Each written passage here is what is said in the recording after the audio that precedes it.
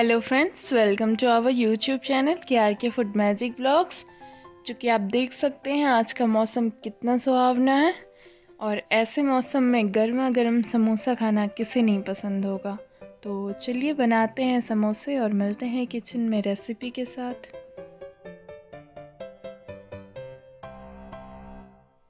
तो आइए दोस्तों, हम स्टार्ट करते हैं अपने समोसे की रेसिपी। इसके लिए हमने यहाँ लिया है दो कप मैदा।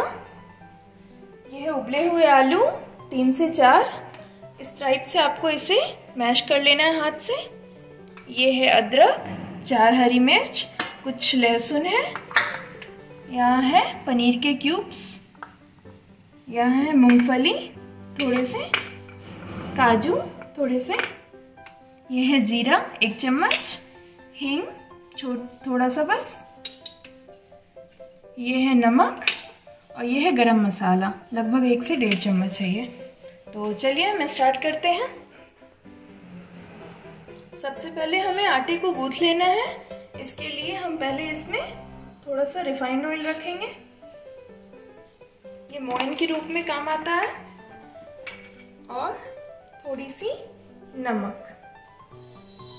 और हम इसे अब अच्छे से मिलाएँगे। इससे आपको पूरी के आटे से थोड़ा सा सॉफ्ट गूंदना है।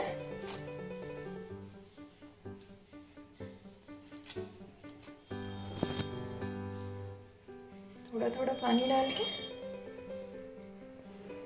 इसमें हम थोड़ी सी अजवाइन ऐड कर लेते हैं। इससे टेस्ट बहुत ही अच्छा आता है और इसे अच्छे से हम मिला लेंगे। इसे बहुत ही सॉफ्ट गूंदना है।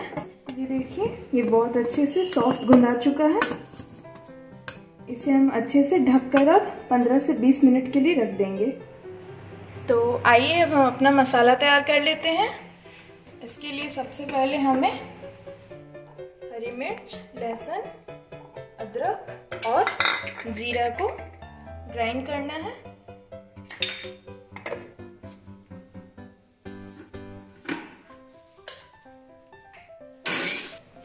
इसमें आप थोड़ा सा पानी ऐड करेंगे।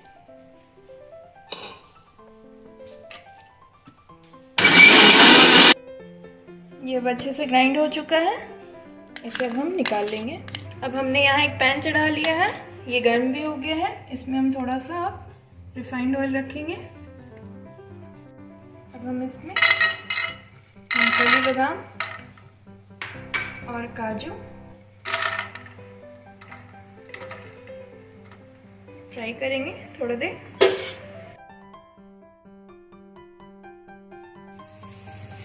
ये अच्छे से फ्राई हो चुका है। अब हम इसे निकाल लेंगे। अब हम अपने पनीर क्यूब्स को फ्राई करेंगे। इसे बस लाइट ब्राउन होने तक फ्राई करना है। ये हो चुका है। अब हम इसे भी निकाल लेंगे। अब हम बचे ही ऑयल में हल्की सी हींग। यहाँ जो हमने पेस्ट तैयार किया हुआ है, वो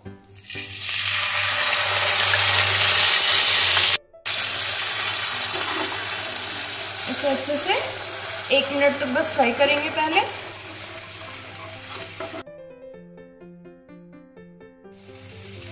एक मिनट फ्राई करने के बाद अब हम इसमें आलू रखेंगे।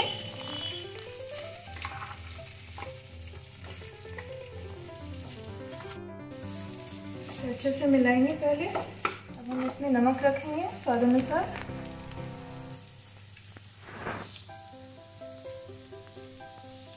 गरम मसाला।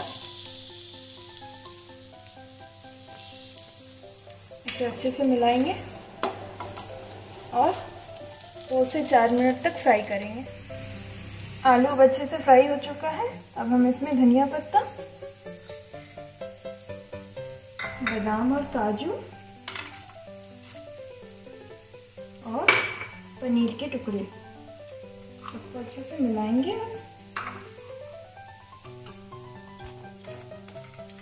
अच्छे से मिल चुका है। अब हम गैस बंद कर देंगे और इसे निकाल देंगे और इसे ठंडा होने देंगे।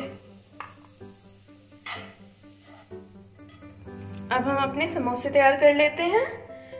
यहाँ पे हमने आटा ले लिया है। इसे फिर से हमें थोड़ा सा मिला लेना है अच्छे से। और इसकी अब लोई काट लेनी है। थोड़ी बड़े साइज़ की ही लोई कटाएगी।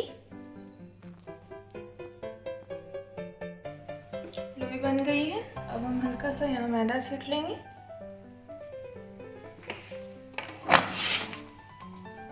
और एक एक लोई को अच्छे से बेलेंगे।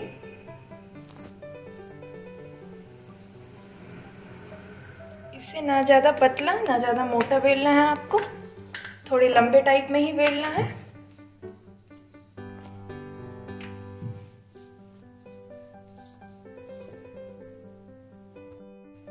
इसे हमने ऐसे लंबा सा बेल लिया है। अब इसे हाफ़ कट करेंगे बीच से।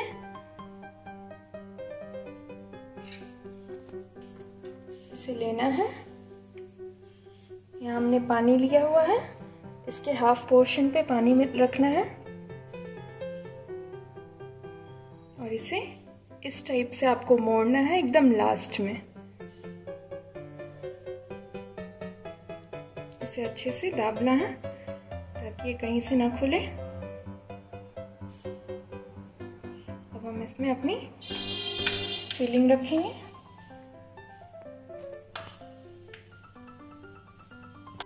हमने इसमें मसाला भर लिया है। अब हम चारों साइड इसमें पानी लगाएँगे। इसे अच्छे से प्रेस करके पैक करेंगे इस टाइप से।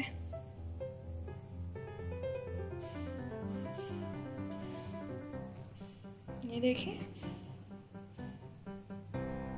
ऐसे ही हम समोसे को तैयार करेंगे।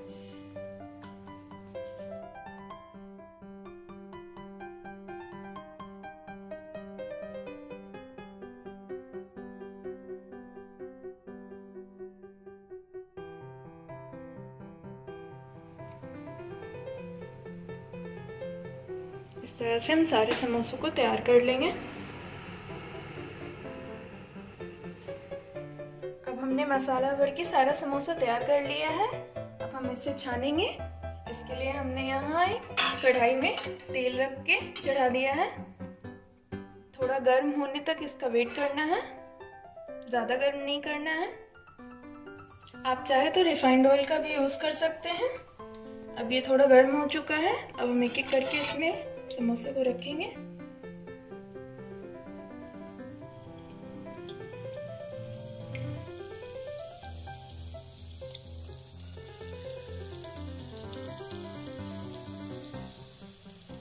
इसे हमें मीडियम आँच में पकाना है।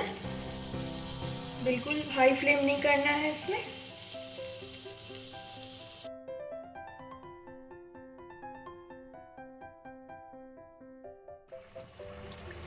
ये अब अच्छे से हो चुका है। अब हम इसे निकाल लेंगे।